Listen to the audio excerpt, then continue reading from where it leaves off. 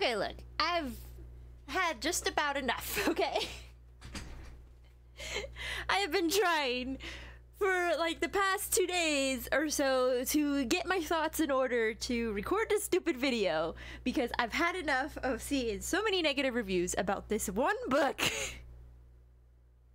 that I think, in my opinion, is pretty good, okay? my goodness! Hi, hello, welcome to the video. If you don't know who, know who I am, my name is Neko Calico. and I do random stuff on this channel, one being this, of all things, a book talk that I am trying to figure out what to do, essentially, from here on out.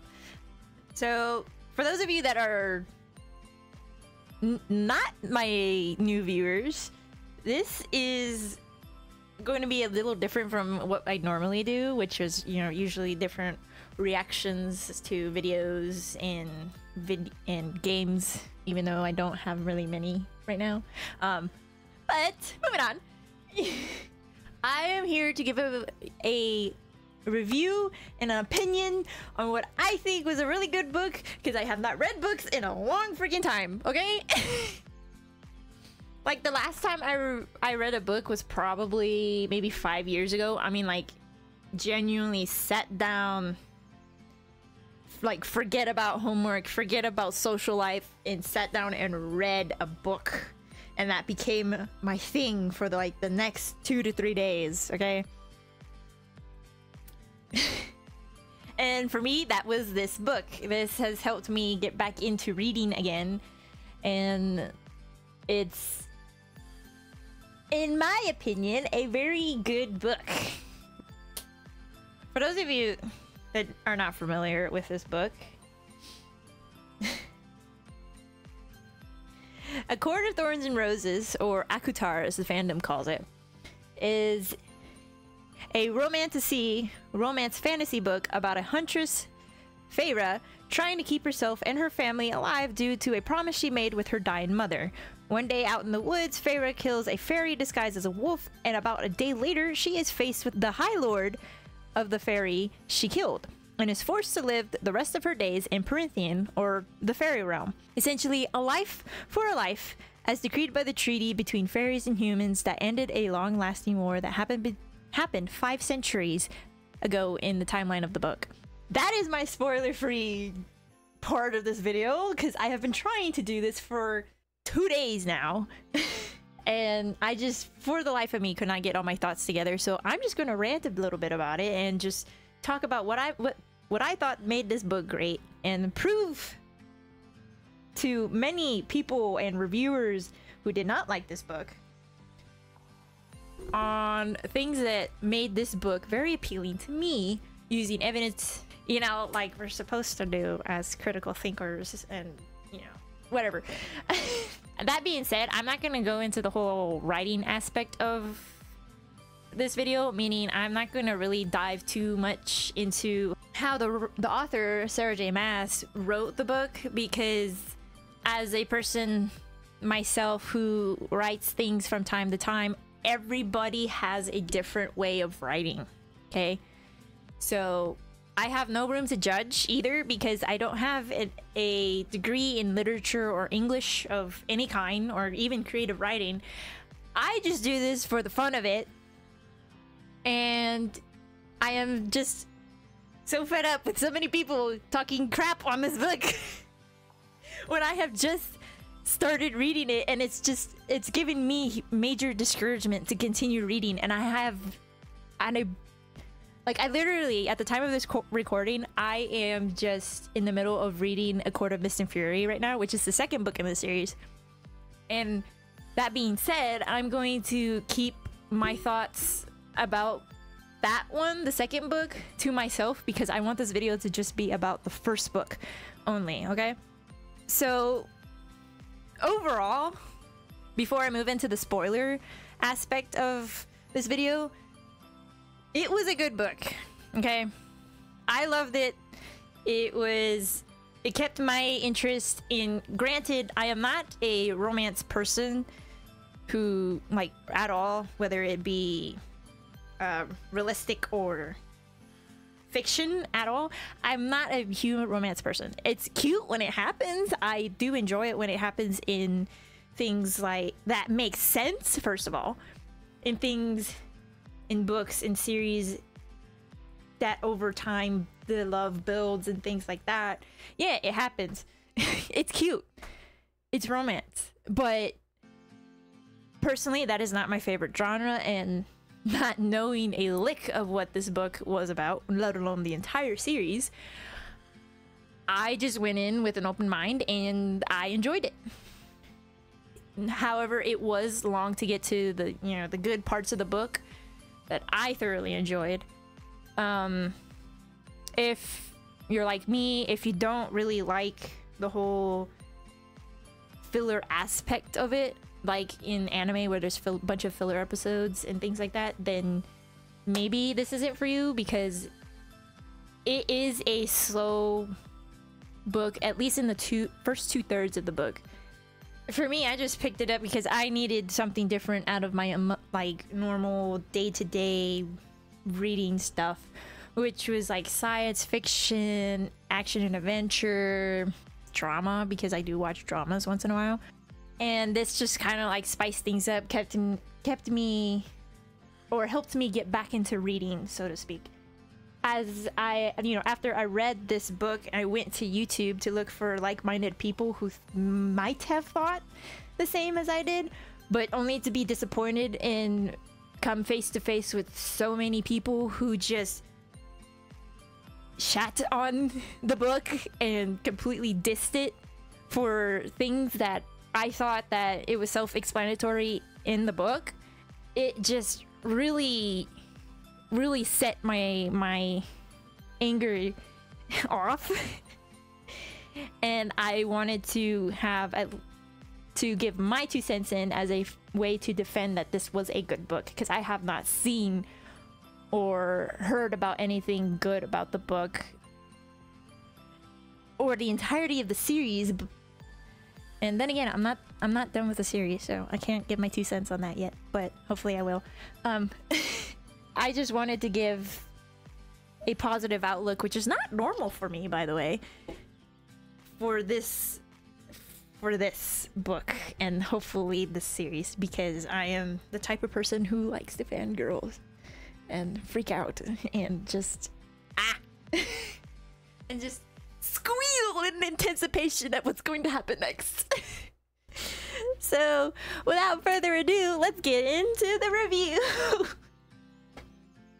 that was so lame. if you do not want to be spoiled, I suggest you click off the video now and go read the book, or you know, it's up to you if you want to spoil yourself or hear what I have to say if you already read the book.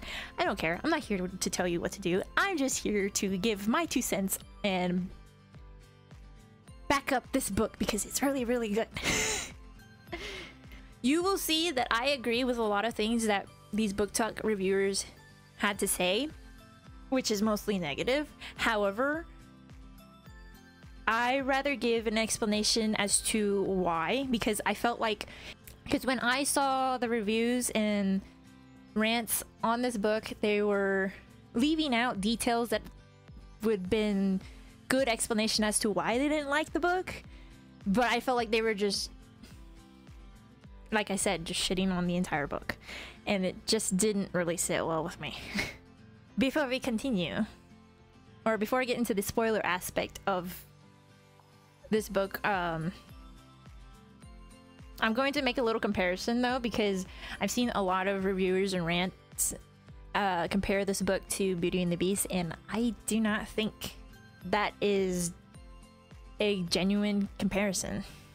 So, um, in my opinion, I believe the better comparison to ACOTAR is Eros and Psyche's story from Greek mythology because they're they have similar plots both stories have three beautiful daughters belonging to a wealthy man, with the youngest not perceiving herself as beautiful, the youngest being taken by an immortal being who she cannot gaze upon his face, invisible servants to the mortal wo- woman who serves her, a jealous immortal woman who despises the relationship between a mortal and an immortal, so much so that when confronted by the young maiden, she sets challenges for her to overcome as punishment, all for the sole reason of the young maiden wanting to see her immortal lover once more.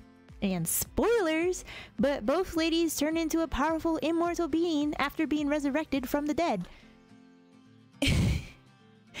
I mean, it became very apparent to me the more that I read ACOTAR that this was just a retelling of Eros and Psyche.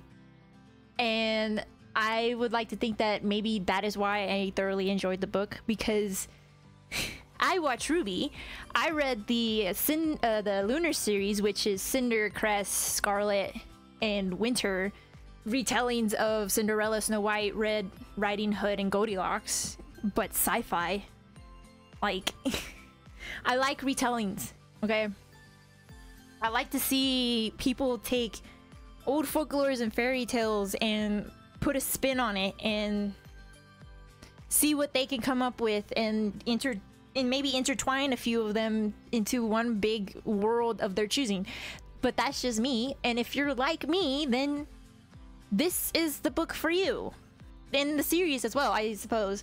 But, you know, outside of that, the second book is it goes into its own I think from the second book on, I think it becomes its own thing. But for this for the first book only, I think it's just a retelling of Eros and Psyche. I truly think so. That getting that out of the way, um, let's get into more details about the book. I'm gonna start off with a little bit of how things were described in the book. I felt that the descriptions were very lackluster and dull because it was a lot of um, expectations of what the reader would input, at least when you go to Prythian, which is the fairy realm. It is so like for example, Feyre gets taken to Spring Court, which is takes place in like two thirds of the book. What I mean, there the description for it was mostly flowers, and I didn't really see anything besides oh, there's a bunch of these flowers. Oh, there's a garden here. There's woods here, and that was it. Like, come on. I expect to see some pixies or some some sprites flying around a little bit, just a little. If it's the fairy realm, give me give me mushroom creatures. Give me give me fairies shaped as leaves, bugs, or sprites and things flying around. I mean, those are fairies as well. but no, it, it barely mentioned any wildlife and that kind of like disappointed me because I had my high hopes up high. and I mean, it was great seeing the different types of fairies like the Suriel, the Pooka, the Wisps, and things like that being mentioned. Which, by the way, I am a huge fan of Wisps. Um, but it was it was just mostly it was very dull, in my opinion.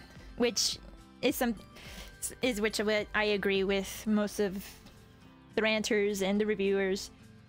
Another which I agree with is um, there could have been more research done on Feyre's uh, painting hobby because it's mentioned in the book that Feyre is a painter. She likes to paint. She had a dream of settling down after her sisters got married to be a painter and just be with her father and live a life of quiet.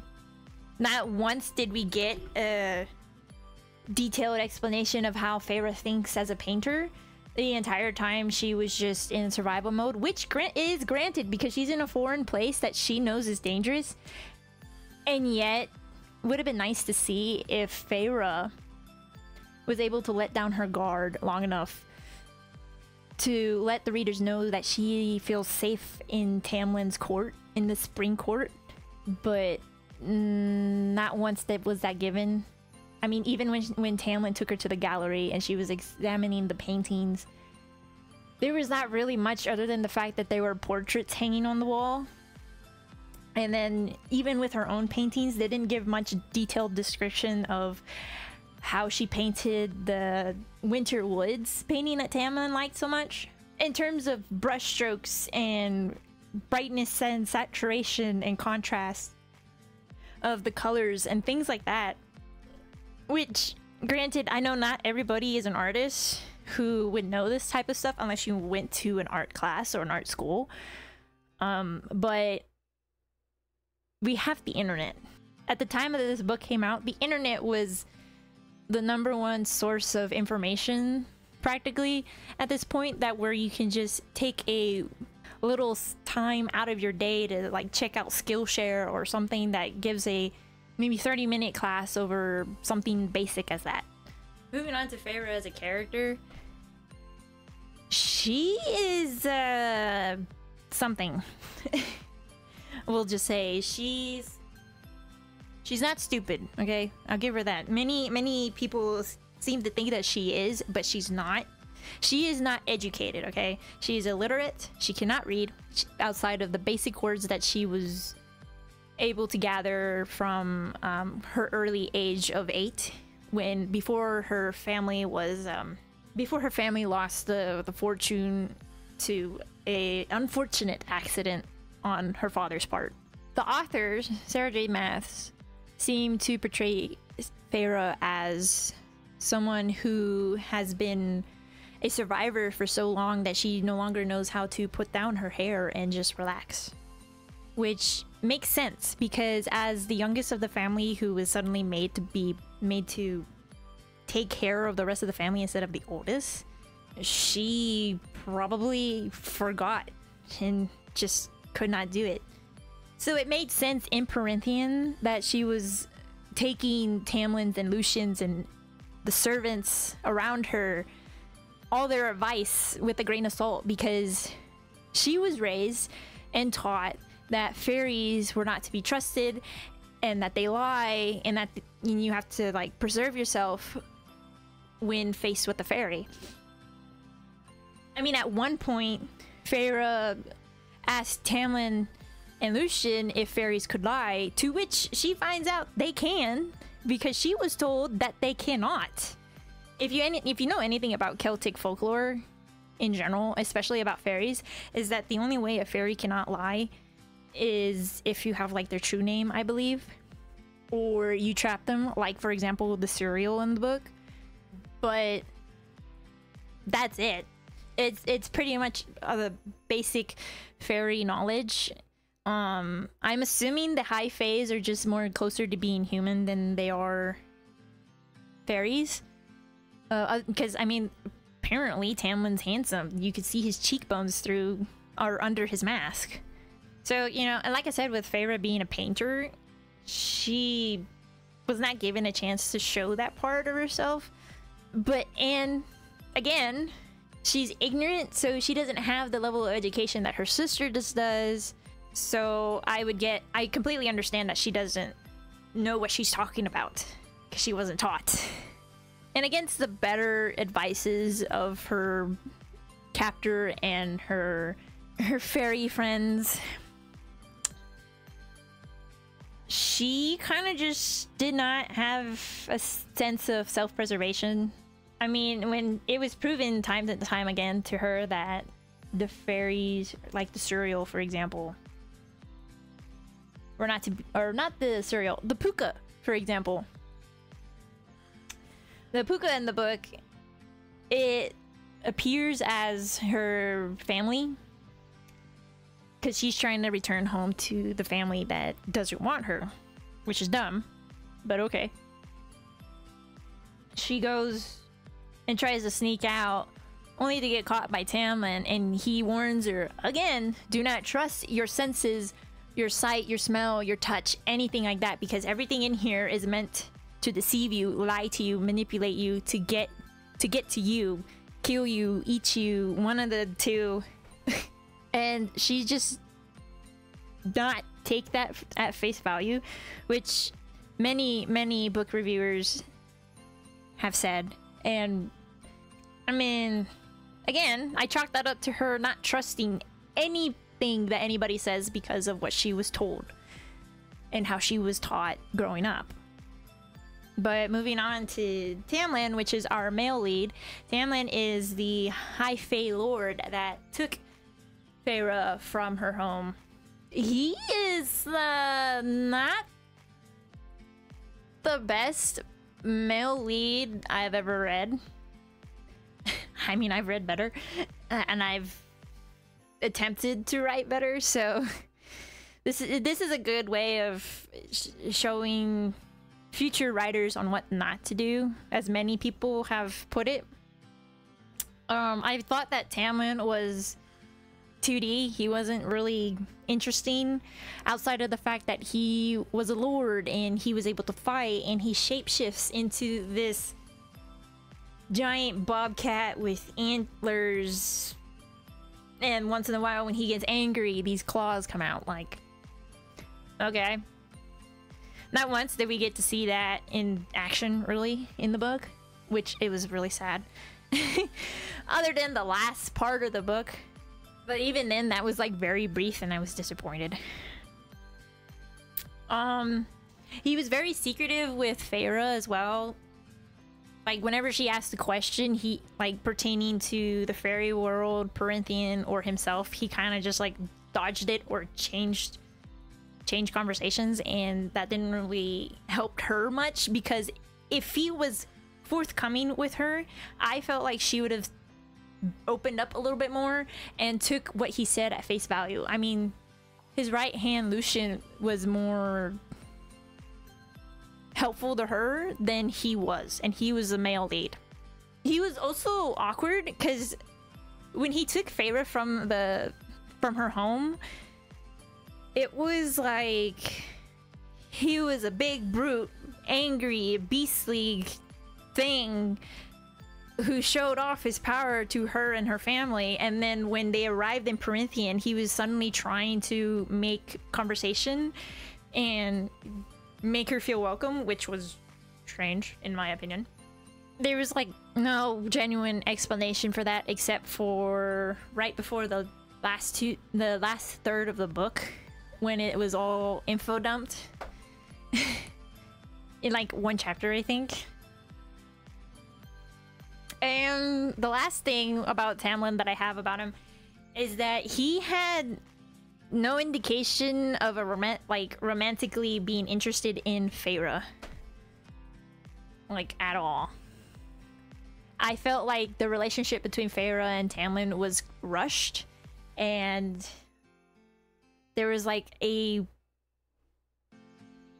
like not a plot, but there was something missing that spark between them that would I think would have ignited their love a lot sooner maybe it, before the Calanmai scene, but it didn't happen and it, that scene fell flat because of it. So that's what I have on the the two lead characters of the book. Moving on to Lucien as a character. This boy. Lucien is Tamlin's right hand man, as I said. He is apparently the emissary or something of that line of Spring Court, but he is not from Spring Court. He's actually from Autumn Court. And he is a wounded baby, as later revealed in the book, that I think had a mortal love, a human lover at one point and it like backfired on him. So his thing was that he had a metal eye and a snarky attitude, to which I think was very valid towards Feyre because all of a sudden a human girl is supposed to live in Spring Court after killing one of their own, and it was very realistic towards her at least. And I I love the interactions between Lucien and Feyre because they had like this banter going back and forth and I love banter when done right. So that's what I have on Lucien. He deserves the world though. He, he learning a bit about him and his backstory with his family in this book was just heartbreaking to read. And I was hoping the entire time that his brothers would have been killed at the end, but no, didn't happen. And then, you know, you have Alis, who is the servant that was in charge of Feyre, but like she was hardly there. I guess her only purpose really was to give this chapter filled info dump of what happened after Spring Court got invaded by the villainess of the book. And yes, you heard right. I said villainous. I mean, not much was touched upon other than the fact that her her sister and her sister's husband were killed and she was in charge of these two nephews in a different court but you know one thing led to another and she was trapped in spring court because of the curse that's laid upon spring court so she's i don't know and then you got Feyre's two sisters older sisters i should say as i mentioned before uh nesta and Elain. nesta is the oldest of the three she, I felt she was really rude. Okay, let's just be honest. She was rude and she was greedy. Same with Elain, but Elain was not as rude as Nesta was. Um, Nesta was more blunt, I should say. Whereas Elain was the bubbly airhead who grew a garden and a, a flower garden, mind you, instead of growing fruits and vegetables to help their family survive through the winter. And like, like, really? The one thing you guys have in common is the fact that you want to preserve your sister's, your second, second oldest, youngest sister from the harsh reality that they are in? Really? But in the end, you know, before Feyre has to go back to Prythian because she gets sent home, Feyre was given the nudge she needed to go back to Prythian, thanks to Nesta and Elain.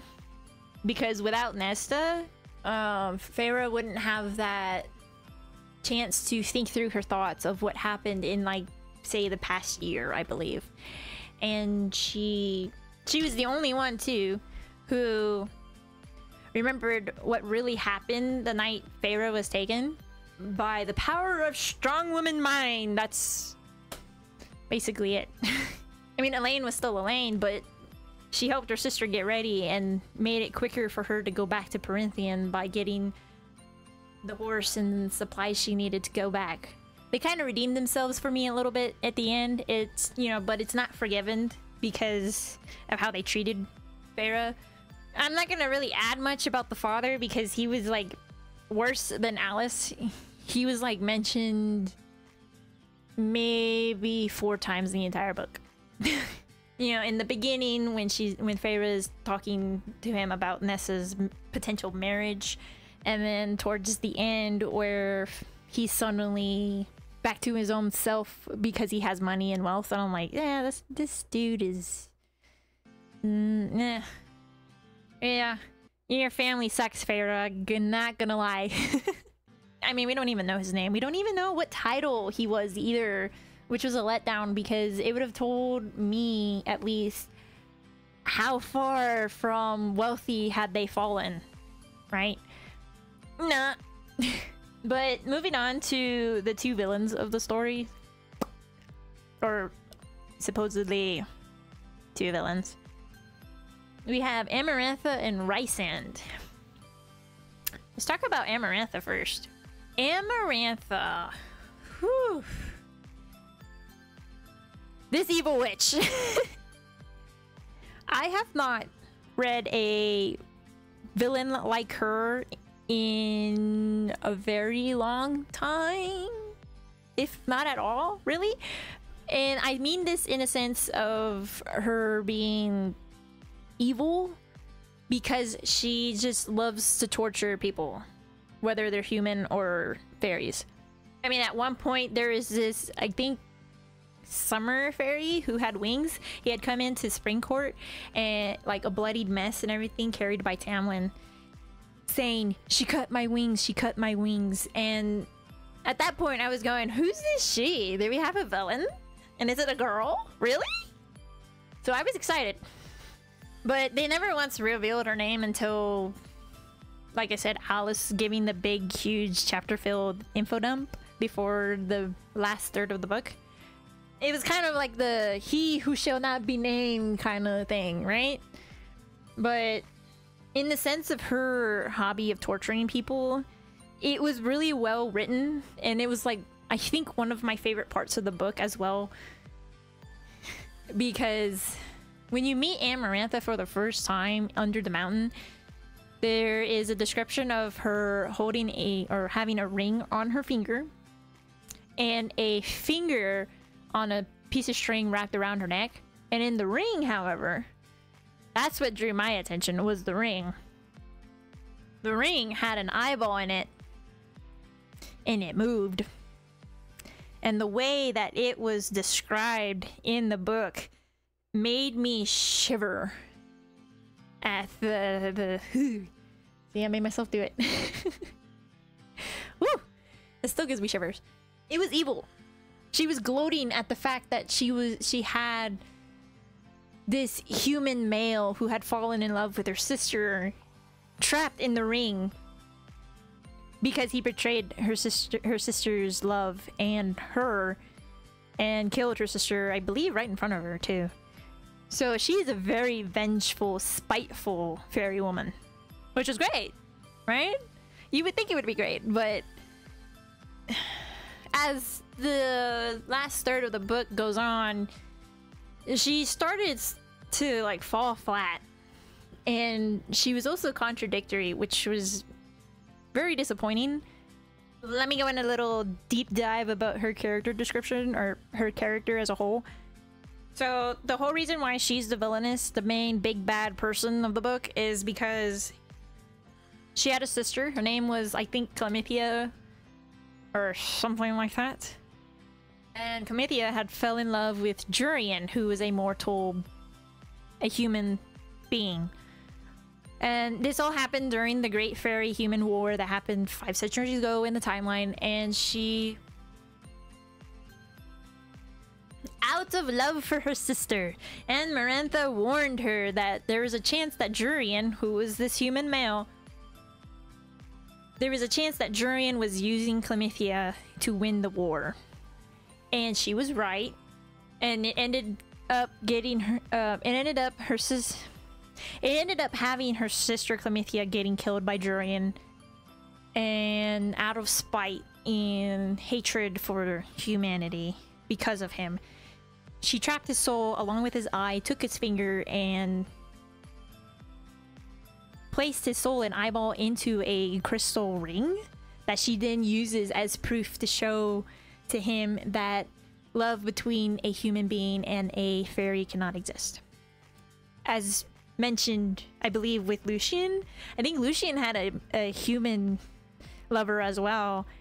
And when faced with Amarantha, she when faced with Amarantha, he like stood up against her and it ended up with him getting his eye taken out and thus being replaced with the metal eye that's whirring and everything. So with that being said, Amarantha had a big old crush on Tamlin, but Tamlin said no. I don't like you. You're not the one I love. Da da da da. Whatever. So because she got rejected, boo-hoo, big whoop, she ended up throwing a big party in an attempt to to um, rekindle their friendship and the relationship between her court and his court.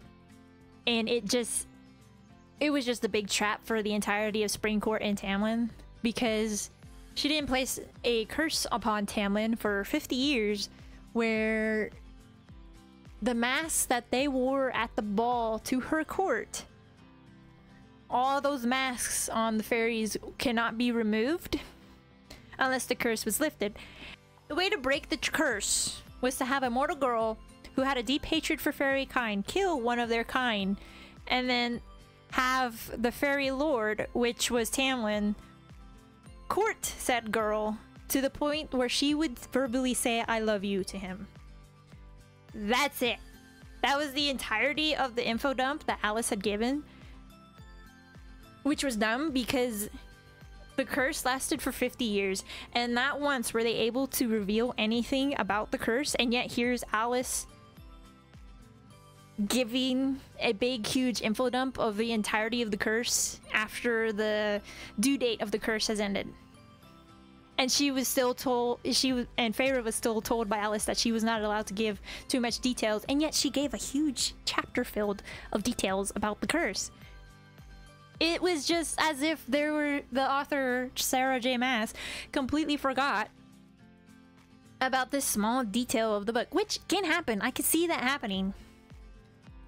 But you know, it's it's this is where editors should have came in, I believe, in my opinion, or someone, an outsider who was not the writer or the author, which is the same thing, come in and say, "Hey, I think this would have been better if you mentioned that early on, or just took it out altogether," because yeah, that didn't really work well. It was it was very confusing plot.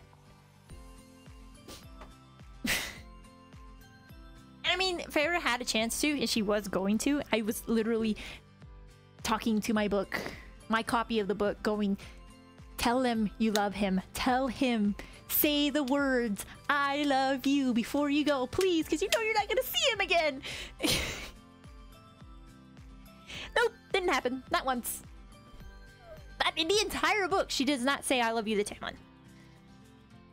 Tamlin's the one who said, I love you. And that one says she said it back. And I'm like, really? Not even at the end of the book, when everything is said and done, it was not never said. And I was like, such a letdown. and Amarantha was contradictory in a in a different part of the book. But I will get to that in a little bit because that goes into big bad fight between Feyre and Amarantha. Which, nah.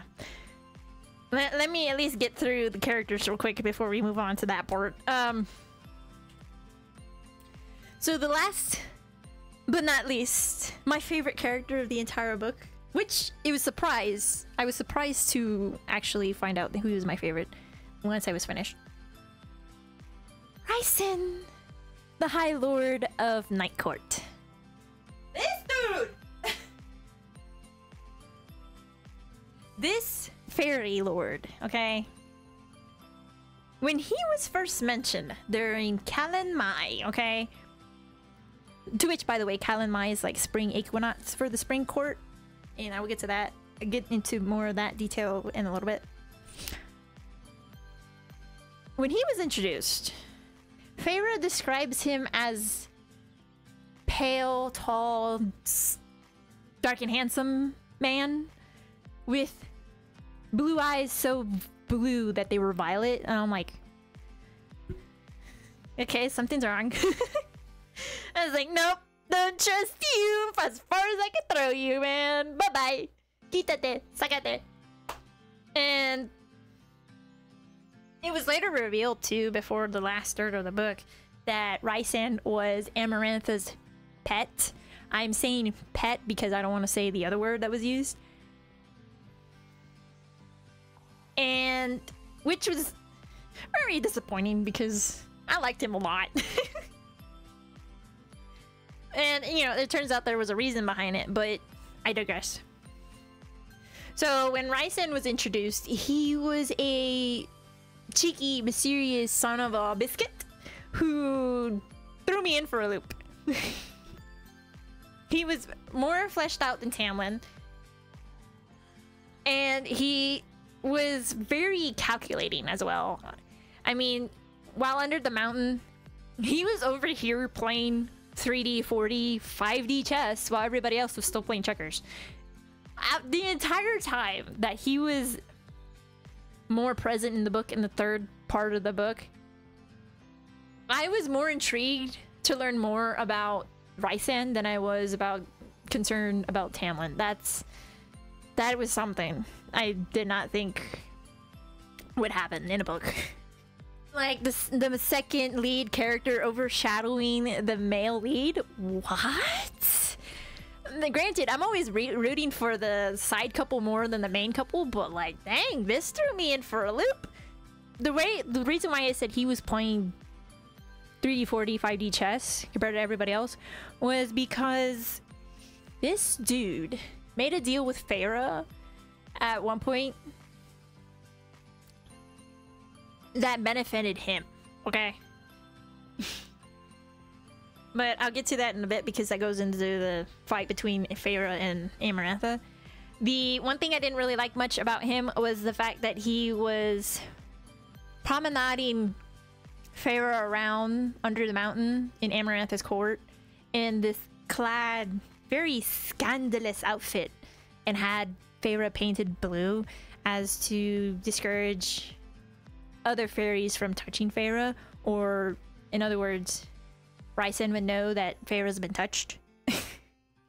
and he also got her drunk off her butt to the point that she was performing these scandalous dances in front of so many fairies, and especially Tamlin.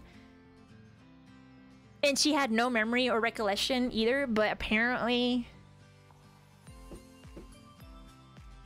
you know, at one point it was revealed that he never really touched her outside of her hips, like hands on the waist kind of thing, and that was it. So that told me that he wasn't doing it on purpose.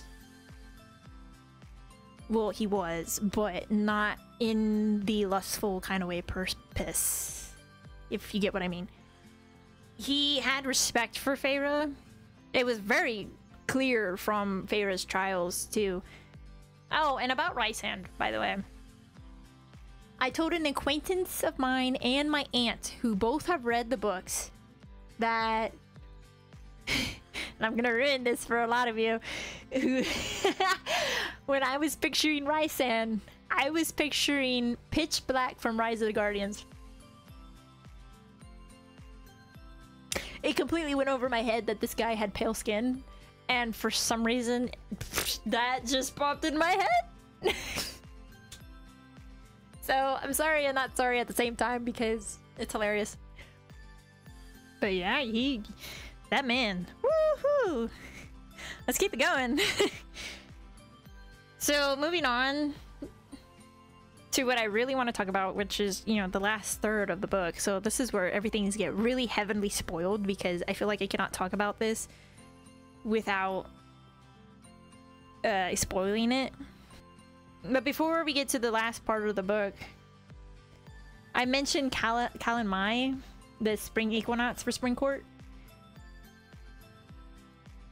It would have been that scene between Feyre and Tamlin when Cal when Tamlin was high off his ass on magic and having a sexy time fest with other female fairies. Like ew not even with a q-tip my dude. No don't and goodness gracious thank goodness Feyre had said I why why do I want your sloppy seconds? oh my gosh, I was like, you go girl. We don't do we not even with the Q Q-tip, my girl. No. Sakate. But you know, that scene in my opinion would have been a lot better if there was some sort of juicy spark between the two before that event. Like there was nothing. I felt like there was nothing. It was just all Tamlin trying to get Feyre to open up and and try to get on her side, trying to welcome her in an awkward and weird way. Like my guy, you didn't even try to understand her really. So that's what I have about uh, Calanmai. And another thing about the mask curse that Amarantha placed on Tamlin in his court was the curse made no sense to me now that I think about it because why would you have a female mortal when you uh, try to break the curse by saying I love you but when you had faced that in the past with your sister? What it would. I mean, it, it probably would have made more sense if it was Lucien who had a human lo lover or Tamlin, giving Lucien's backstory to Tamlin, really. Uh, where Tamlin would have chose a human mortal over Amarantha. That would have made more sense. And that would have give her more incentive to place the curse upon Tamlin and his court as punishment. Because then that would have, you know, triggered her PTSD of seeing her sister die before her by the human male that took her life. You know, but nah. It, it's it's fine. It is what it is. So the last thing is, you know, talking about the last third the book. The last third of this book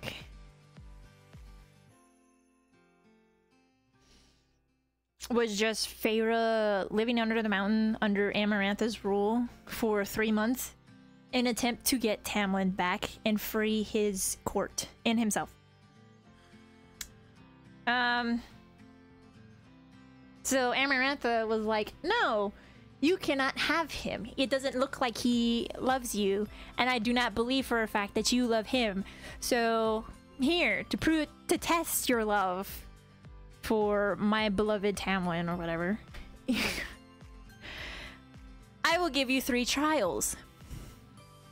And if you cannot solve my, if you cannot finish my three trials, I will give you an out, an easy way out. Solve my riddle, and both Tamlin and his court will be free from his curse, and I will let them go.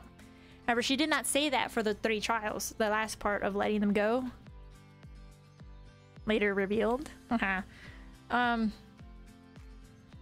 So the first trial was about this big giant earthworm that they called the Middengard, Mit, Middengard worm. Blech. And Feyre having to basically sort of survive in this mud-filled maze while being chased by the worm. And there are bets being placed by the other fairies that are with Amarantha under the court or under the mountain. And Amarantha was like, I hear you're a huntress. So hunt this. And you know, here comes the worm. I will say though, Rhysand. This is where Rhysand be suddenly became my favorite because he figured out what Feyre was doing. Uh, as in trapping the worm to kill it. He figured it out before anybody else because they were like, what is she doing? Ew, why is she putting the mud all over herself? And he was like, she's hiding her scent to trap the worm. And she heard him. So what does she do? She flips him off. and then goes fights the worm. and the dude smiles. Okay, the dude smiles. He is and the entire time, I am telling myself, no, no, no, do not fall for this man's trickery. He is the bad guy. He is Amarantha's pet. No. and then at, in the back of my mind, it was like, yeah, that's a shame.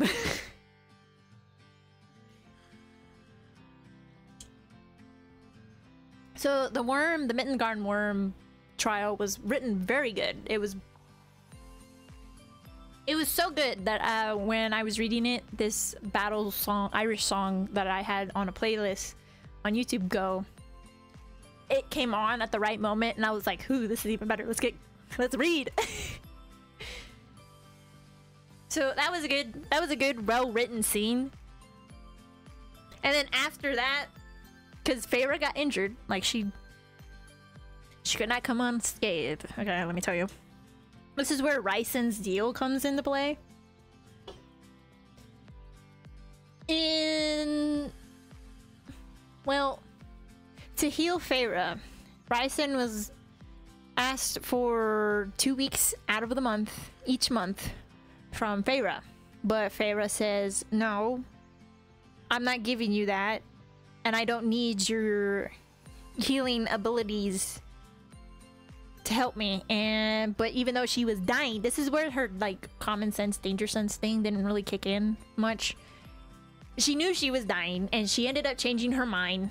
She was dying from infection from the nasty caca mud that the worm produced and it was her wound from the worm got infected from that. So she was dying. She was having a fever she was going in and out of consciousness, and she was waiting for Lucien to show up to heal her, but it did not happen. So Rhysand stepped in and said, okay, 10 days. She goes, five. He goes, a week then, and done. There you go. He heals her arm and marks her arm. A vine like tattoo with an eyeball on her palm. And apparently that tethered her and Rhysand together because in the second trial, it was where a test of. It was another riddle, actually, from Amarantha. But this is strange because not once was it mentioned how Amarantha figured out that Feyre is illiterate. So it was like, did she find out from Lucien like the first trial? Because she she tortured she kind of tortured uh, Lucien to tell her to tell her what he what she can do, and that's how I guess she found out she was a huntress, I believe. But like it would have been it would have been nice to know if Lucien had also revealed that she was illiterate. But in the second trial, it wasn't just Feyre's life at hand, it was Lucien's as well. And they were both about to get impaled by hot flaming spikes and became a bloody singed mess. so because Feyre couldn't read, she wasn't going to be able to pass the, the trial. And that's like the only thing that was like I didn't have wasn't really happy with was the fact how did Amarantha fan, find out she couldn't read? Like who told her? it couldn't have been Tamlin. The dude was stoic the entire time. So that one that was like the start of the dwindling part of the end of the book. Because the last trial was just Feyre trying to kill three fairies, right? And these three fairies were innocent. It it was as if Sarah J. Maas kind of ran out of ideas towards the end here because rushed a little. I felt like it was rushed a little bit. And I don't know if this was because of her editors or because she was they they told her she had a specific amount of pages that she could write or something. I don't know. But you know, it would have been better if Feyre had stood up against Amarantha at this point and told her, "No, I won't do it," because that would have made much more sense in the terms of her being a changed person from when she was in the book. Because in or in the beginning of the book because in the beginning she was she hated fairy kind. She did not trust anybody as far as she could throw them and then towards the end of the book she had Lucien as a friend. She loved tamlin. And she cared for Alis and her nephews that would have made much more sense if she had just stood up to amarantha saying no i won't do it proving her wrong that she has changed as a human and that humans can change and come to uh, sort of an agreement and live amongst fairy kind especially with the fact that her lover is a fairy high lord that would have made a much better ending. But you know Feyre ends up killing two of the three innocents and only to find out that the third was Tamlin himself and because Tamlin can shapeshift she he wasn't able to be uh, harmed. Which by the way fairies in this book can be only killed by an ash blade or something made of an ash tree okay so the iron doesn't work Silver doesn't do much either. I mean, it doesn't really attract fairies, but iron doesn't harm them, so... And then there's the thing with the riddle. Amarantha's riddle, it was... It was cliche, let's just say that. It, it, she gave this big old riddle, right? Let me, let me, let me pull it out real quick. Here's, here's the riddle. There are those who seek me a lifetime, but never we meet, and those I kiss, but who trample me beneath ungrateful feet. At times I seem to favor the clever and the fair, but I bless all those who are brave enough to dare. By large, my ministrations are soft-handed and sweet. By scorn, or but scorn, I become a difficult beast to defeat. For those each for though each of my strikes lands a powerful blow, when I kill, I do it slow. Okay. At first, I thought it was a dragon. Because of the whole scorn part. But I commend those who are brave enough to find me, right? It wasn't that. And it was and that whole detail thing about a dragon on a cape that Rhysand had given I think it was Rhysand. No, either Rhysand or Lucien who gave Kit Feyre a cape that had a dragon symbol on it, and I was like, hey, maybe it's a dragon. Nope. And then more as I read along, I thought it could be truth because the truth is hard to digest for some people. And considering that the fact that Amarantha's sister was um, blinded by love, that she could not see the truth, that would have made sense, right? Nah. The answer was love. Like, literally, after Feyre completes the entirety of the trials, Amarantha was beating her within the life of her in, uh, inch of her life.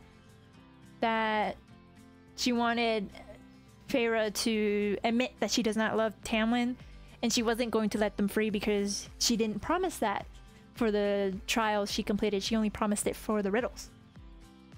Or for the riddle. And did not that work, and Feyre just figured out what it was, staring at Tamlin as she's laying there dying, that it was love. Broke the curse, Tamlin killed Amarantha, and all the High Lords that were under the mountain uh, gave a piece of themselves to to uh, Feyre to revive her into a fairy body with a mortal heart. And it was, that part was a little confusing to read as well because it was the way that it was written. It was saying that Feyre was in the eyes of Rhysand, but because of the bond, not the bond, the deal they made in the bond that was connected to them because of the deal, it led her to him and she was able to see through his eyes what she looked like laying there dying or dead and the other high lords and Rhysand himself giving her a piece of their power to resurrect her from the dead. And that turned her into an immortal fairy too, so that's a plus, I guess.